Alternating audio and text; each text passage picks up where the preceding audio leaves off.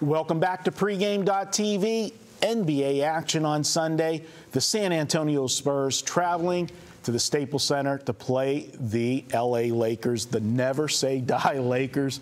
Kobe put him on his back and said, We're, we're not losing this. We're going to the playoffs. Incredible performance. We're taping on Friday night, guys. Uh, of course, they're playing on Friday night, um, the Lakers incredible performance Wednesday with uh, Kobe. 47 yeah, points, 48 minutes. He's unreal. And, and, and that's the thing. We've seen a couple different Kobe's this year. We've seen Kobe early on trying to put the Lakers on his back before Nash came back while Howard was going through his growing pains and his injuries, and uh, Kobe trying to carry him, and the Lakers were under 500. It looked like they would miss out on the playoffs. Then he tried to be the unselfish Kobe and go for 15, 16, and dish for 10 or 12 that worked for a little bit until all of a sudden it's like, you know what, let's kind of just take each game at a time. Let's not go with any set blueprint. And then if I need to put you on my back, I will. He did it the other night, and he did it incredible game to watch. And it was the first time this year that the Lakers won back to back games. They played the night before and then played again on Wednesday. But let's not get too carried away. It was the Portland Trailblazers. Now, the Lakers have had horrible history in Portland, but this Portland team this year, I think they were on an eight game losing right. streak or whatever, so they're not playing good basketball at all. But the Lakers were in trouble. They had to come from behind against Portland. Now they control their own destiny. You know, Utah owns the tiebreaker, but they've got the one game cushion. So the Lakers can win out the final three games and shut Utah out. Mm-hmm. The other thing that you got to be concerned about, you know, before we get to your pick, and I'll set it up to you as we talk. We're talking on Friday, so obviously we don't have the lines, and plus both teams are playing tonight. But we've seen several times this year Popovich deciding to rest players. Now, you would say, this is a big game, this means a lot. You don't rest players in a game like this because they're in the number two seed chasing Oklahoma City. And we right. talked before we come on air. You've got some thoughts on that. Yeah, I, I maybe the maybe San Antonio doesn't care about the one seed because if they were the one seed and the Lakers did make the playoffs, they would be matched up against the eight seed, the Lakers. So, uh, you know, San Antonio to me is a team, they've got to be clicking on all cylinders. Tony Parker needs to be healthy. Ginobili needs to be healthy. The young guys are stepping up, but they need all their key components. They've got a great coach. We know that.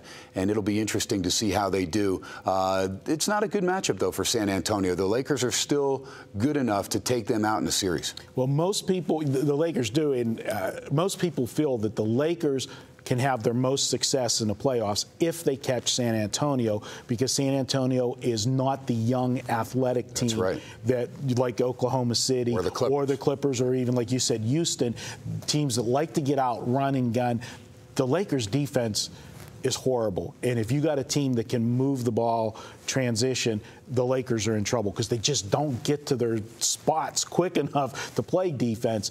Uh, but a team like San Antonio that's got some, you know, age on them, a uh, little bit more deliberate, that's a better matchup for the Lakers. So. Um, it would be in San Antonio's best interest if the you know if they're the number two seed, they don't get the Lakers if they if they go through the motion, so to speak, and uh, kind of just go out there. But they may announce prior to that they're going to be resting players. Remember, last time the line was out, and we saw it go from two to nine and a half because they rested a bunch of guys, uh, including uh, Duncan and including Tony Parker, and of course Ginobili was already out. So, uh, but this is my uh, my free play, Mark. I'm going to make it official so I can get down and dirty and let you know why I like the LA Lakers in this game. And you know me, being the Knicks fan, I am an anti-Laker guy, but I am also here to make money and make you money here at pregame.tv.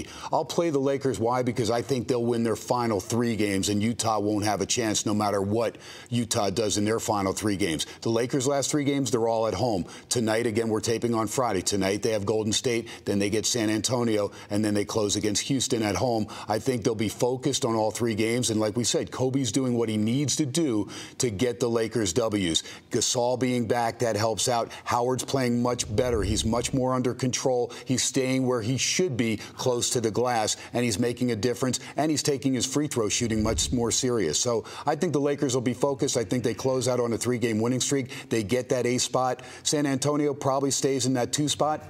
And the Lakers will be up against it when they play Oklahoma City in the first round of the playoffs. But first things first, got to get to the playoffs to have a crack at OKC. I think the Lakers will do that, and they'll clean it up on Sunday, pretty much wrap things up by taking out San Antonio. I made this line about five and a half Lakers if we know that Duncan uh, will be playing. And again, don't know about Ginobili and Parker, uh, how Pop will go with it. But uh, I think the Lakers will win this game by double digits. They'll jump out quickly, and they'll ride the momentum from a Friday win coming off their two other wins against New Orleans and at Portland. And like Marco said, Portland, eight game losing streak when the Lakers went up there, but the Lakers found themselves in a deep hole early double digits, and then they came up with a W. And psychologically, that means a lot because, as Marco told you, they don't win up there at the Rose Garden. So my free play here, free game, pregame.tv, the free play, take the Lakers, no matter what the points on Sunday, lay it. They'll get that W over San Antonio.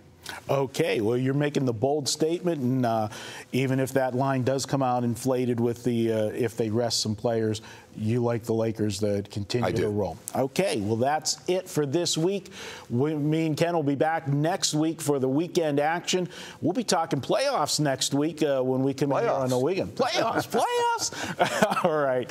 Uh, every time I hear that, we got to make I got to have more. You got to yeah. need that sound bite. bite. Yep. All right, guys. Hey, have a great weekend.